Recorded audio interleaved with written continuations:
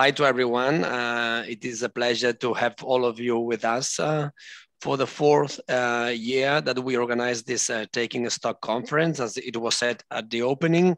Uh, it is a conference organized by the European Observatory on Memories together with the uh, House of European History and the Jean Monnet House both from the European Parliament and uh, with the cooperation and uh, collaboration of the uh, European Commission and the EACEA agency, which is the the, um, the organization managing, as you know, this uh, new CERV uh, program where the remembrance policies are uh, placed.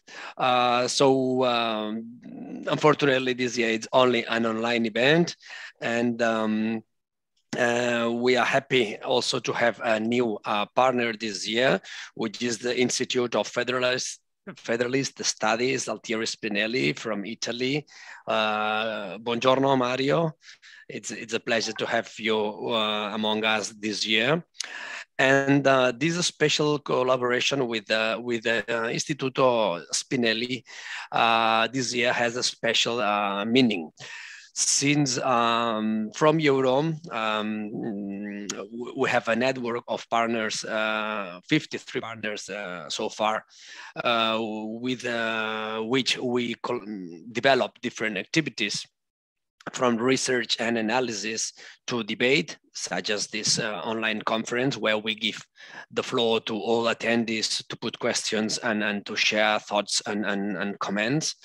Uh, to citizens participation, we have a special focus on, on youth participation. Every year we organize at least two or three activities with um, mm, youngsters from different uh, European countries and also and this is the point where i wanted to to to, to go is dissemination strategies to reach and to involve um, uh, citizens in in uh, in terms of memory. So uh, mm, uh giving uh, uh, EU citizens the possibility to um, to think and and and to participate in, in, in memory uh, activities.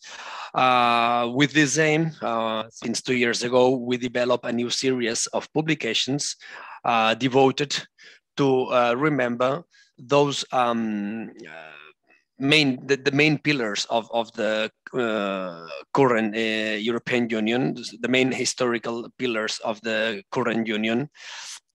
And uh, last year we published for the for the first uh, issue of this uh, series, which was devoted to the Schuman Declaration, the 70th anniversary of the Schuman Declaration, which is considered, as you know, one of the founding um, um, documents or, or, initiatives of the nowadays Union. And this year we are commemorating the, the 80th anniversary of uh, so-called Ventotene Manifesto. Um, this is also uh, one of the uh, initial ideas that finally led to what we understand today as the European Union.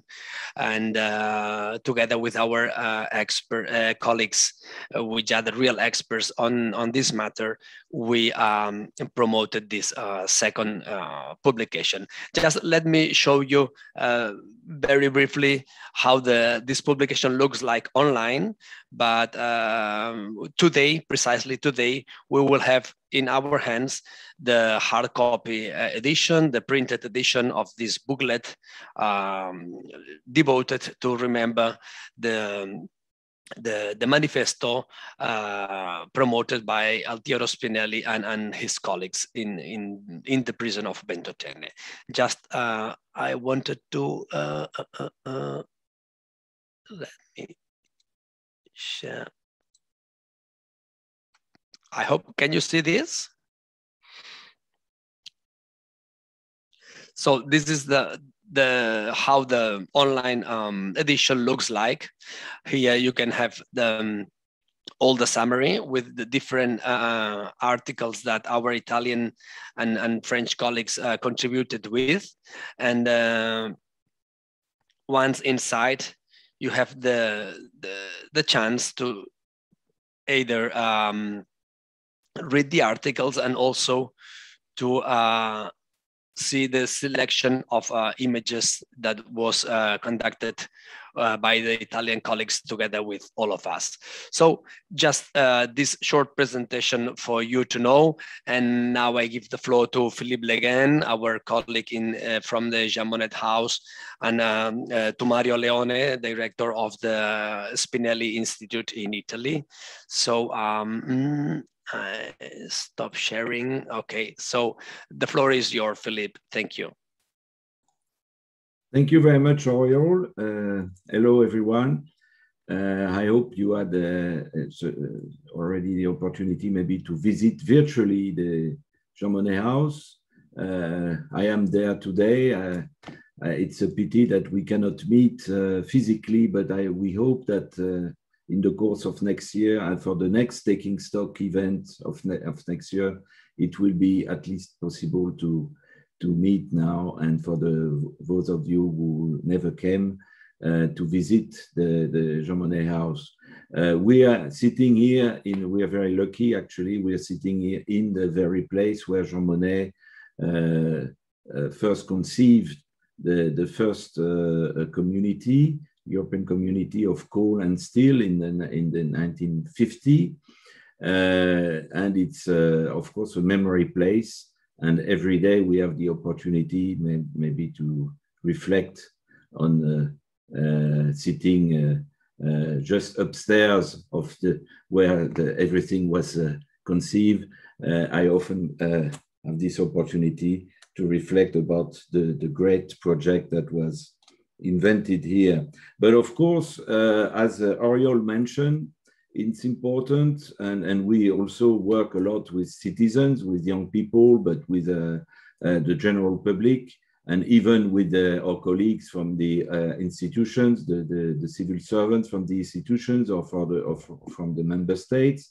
So it's important with them to evoke, as Oriol mentioned, uh, memory, the memory, uh, the collective memory of our Europe, which is, first of all, not known most of the time, not taught at school.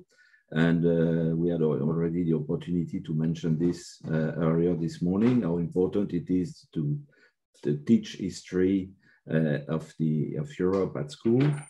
And of course, uh, we need some uh, also some affect, some some some uh, important um, uh, events, milestones, pillars, as Oriol just mentioned, uh, uh, where to to to to to, have this magical idea transform into reality. So, in fact, we consider that the Ventotene Manifesto that was uh, written by Spinelli and his friends uh, when during their time uh, in the in this remote prison of this island of Ventotene is an important first milestone uh, of the European uh, integration history. And uh, of course, our colleague Mario from, from the Instituto uh, uh, Spinelli will explain why. But for us, it was very important to uh, uh, put um, an emphasis on this for the 18th, 80th anniversary of, the, of this document, which was drafted in 1942.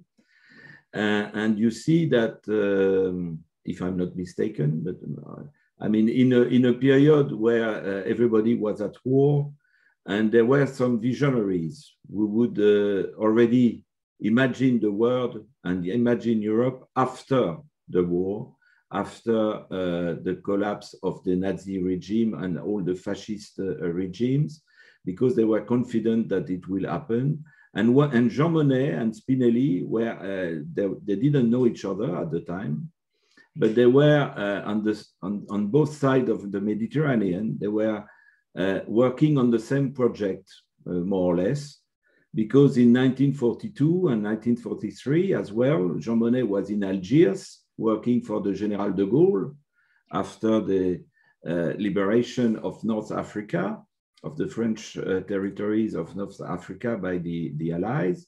And he was working also on this project that will eventually uh, become the project of the uh, first European community of coal and steel. And he drafted already a map with all everything on it uh, about the coal fields and so on and already a text which was the, the embryo, so to speak, of the, of the future com community. So, uh, and you see that um, Spinelli and his friends, they were right across the Mediterranean on this island, and they were also having the same kind of project. So uh, we can see that these men at the time, they were visionary. And it's important to remember that because most of the time when you teach Europe at school, uh, the teachers, they begin with the treaties, you know, 1970, uh, 57 uh, treaties of Rome and so on. But okay, it could be very uh, uh, difficult for the students to learn about this Uh, legislation and so on, uh, what, what is all about these treaties. But, but it's important not to, to forget where it comes from. And it comes from these ideas of these people who were suffering from the war, who had uh, their own and in the case of Spinelli, even more, they were, they were in prison for their ideas, and they were already confident in the future, and they were reflecting about uh, peace and about democracy and about freedom. So it's very important. I think it was uh, the main um, uh, purpose of all this was to talk and to remember this. And maybe in France, Spinelli is not very well known, so thanks to the Instituto, it will be now more. Uh, and uh, it's important not to, to forget about this because uh, Europe was already uh, in the minds before the, the treaties. So uh, last time, uh, last year, we, we celebrated the anniversary of the Schuman Declaration, which is the first, of course, text uh, that was used for, for launching the project. There were other initiatives like the Council of Europe and so on, which of course had their lives on their own, which didn't lead to the, to the uh, community. They were important, but for us, uh, Ventotene Manifesto is one important milestone as well. So I would like to leave the floor now to uh, Mario Leone uh, from the Instituto, uh, Spinelli, we will talk more about this, and I uh, hope that we'll have soon the and you uh, everybody will have soon the opportunity to read uh, online first the the different texts that were uh, gathered in this publication, which uh, is quite innovative. And uh, I hope to have it now uh, soon. And I see that Oriol is expecting the, the hard copies for today. So we're quite happy to have it soon as well. And it will be in good place on our shelves in our li li library at the Jean Monnet House. Thank you very much. And uh, Oriol, um, uh, Mario, please, the floor is yours. Thank you very much uh, to Le Guen. And uh, thank you uh, to Oriol too. And um, I'm very happy to be here. And um, I want to mm, take you uh, my, my personal experience about the manifesto and about Ventotene. And um, like me, uh, so many people have adapted uh, with uh, the Ventotene Island, uh, with the woman and the man when I made the position to fascism and Nazism and when they produced that the project for a free and united Europe known as the Ventotene Manifesto. I believe that uh, mm, each of us owns adapt to those uh, women mm, that deeply uh, have led the Altiero Spinelli Institute uh, since its establishment on uh, July 4 in 1987 an experience uh, of passion and militancy. The training seminar, which uh, is its uh, 40th national edition, organized by the Institute of the Lazio region and the Ventotene municipality, and uh, also with the Ventotene citizens. Altiero Spinelli and Ventotene. I think is an inseparable pair.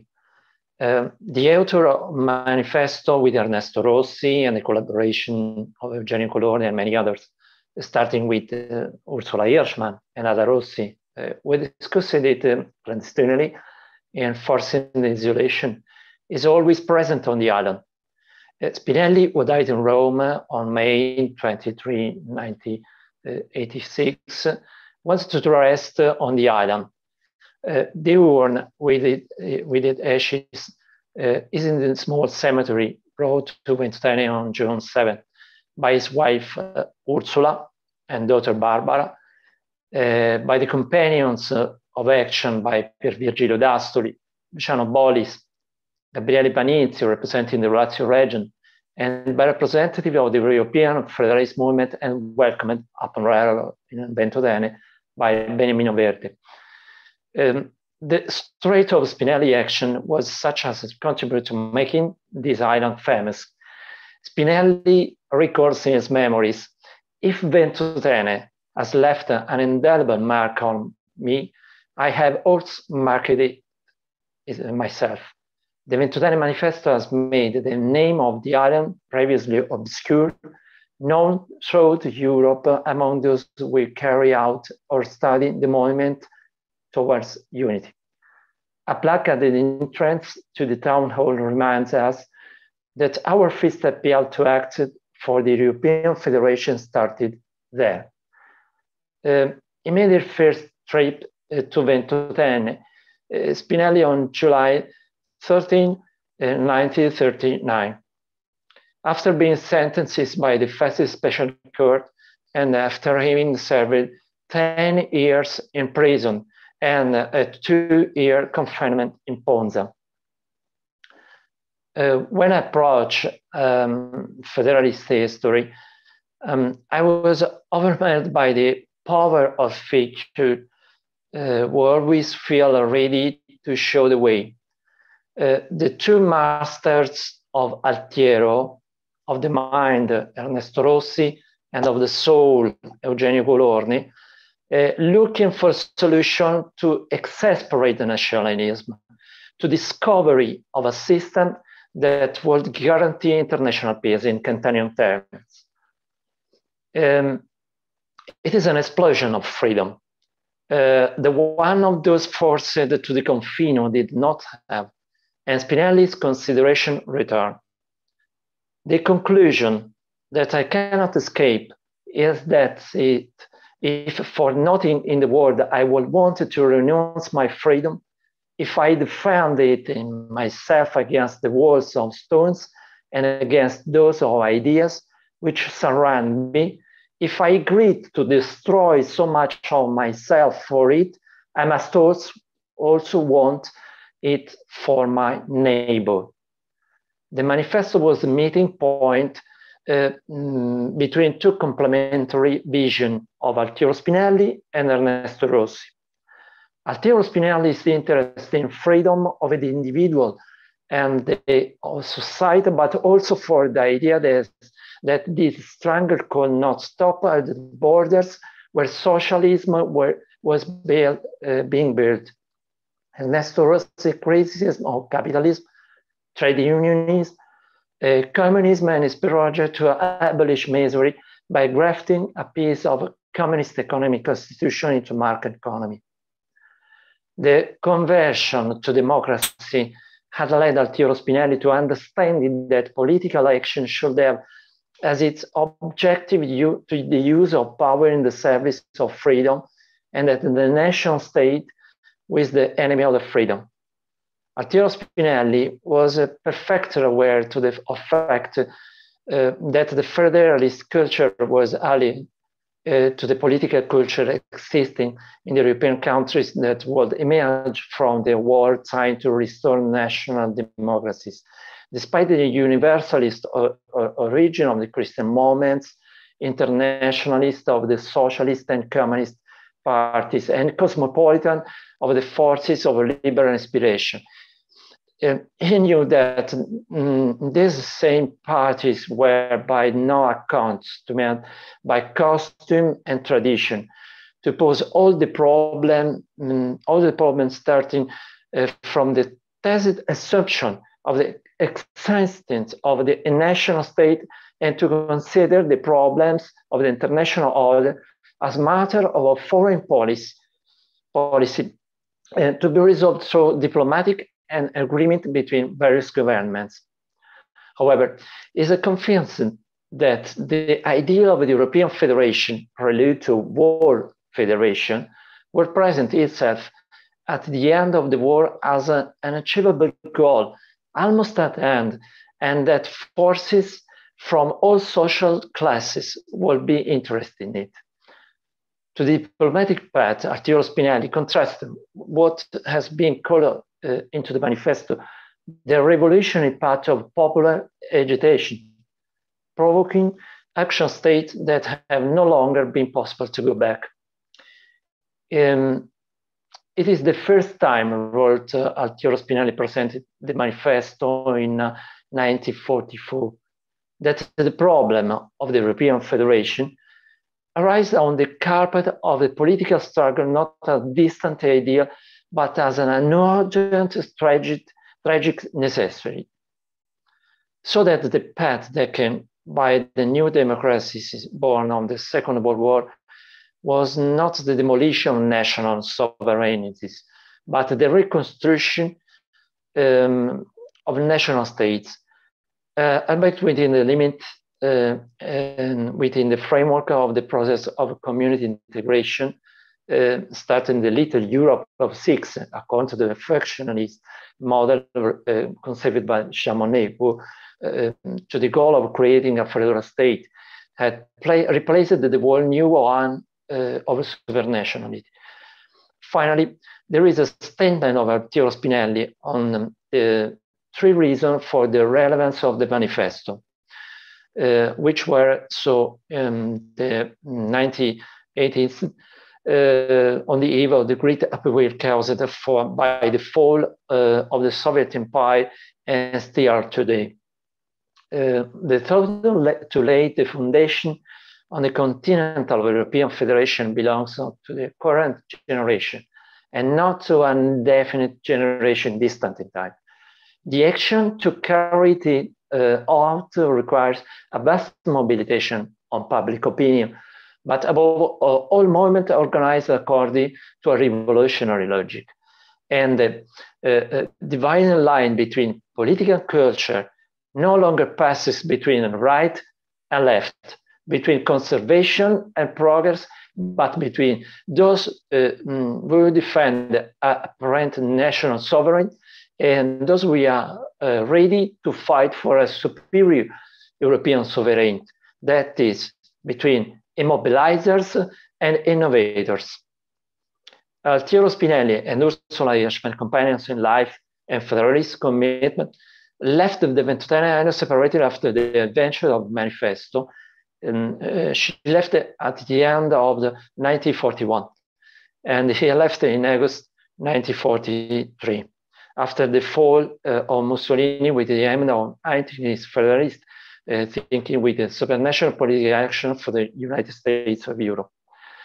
Altiero and Ursula returned together in Ventotene for the first time uh, since in 1973.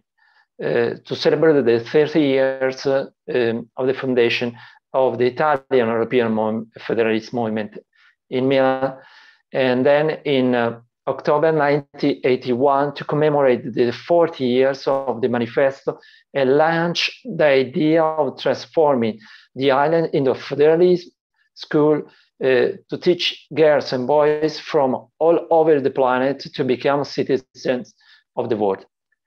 Edmondo Paolini was a journalist and friend of Spinelli.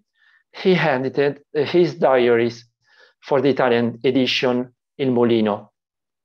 Paolini helped organize at the request uh, of Spinelli an event in Ventotene, uh, which, uh, motivated by the celebration of the uh, fourth anniversary of the Ventotene Manifesto, actually wanted to be a moment of a union between the European federalist movement and the constituent action uh, that Spinelli was carrying out to the European Parliament with the Crocodile uh, Club.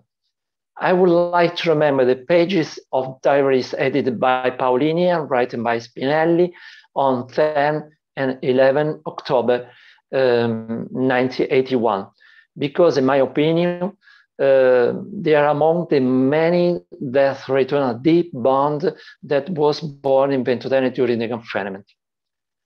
We hugged with Ursula when we arrived while going up from the port to the church square, where 42 years ago we met uh, for the first time. And we went to lunch together with Renata, born from Hirschmann's marriage with Colorni, in the apartment that uh, was the canteen of which I was director, and uh, I was their son. Ursula came and we said goodbye, thinking that uh, it could be forever, and that we had never told each other uh, anything we want to tell each other. In Ventotene, Altiero Spinelli proposed on uh, 10 uh, in October 1981 to transform the island into a permanent political school for young federalist militants, just as it has happened in the party school.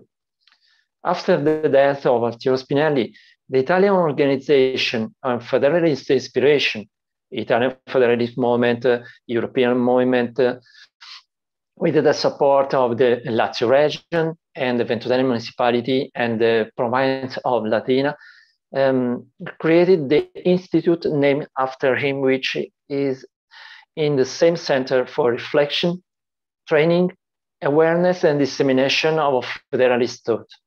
The Spinelli Institute has become in Italy the essential part of the work table and coordination of European activities, activities on the um, island, which have been enriched with cultural events and have facilitated the involvement um, of all the people of Ventotenesi and in Europe in the framework of the networks of the 60, I think, uh, so much now, houses of the great Europeans, which has been coordinated for many years by the European Parliament of the Maison Jean Monnet.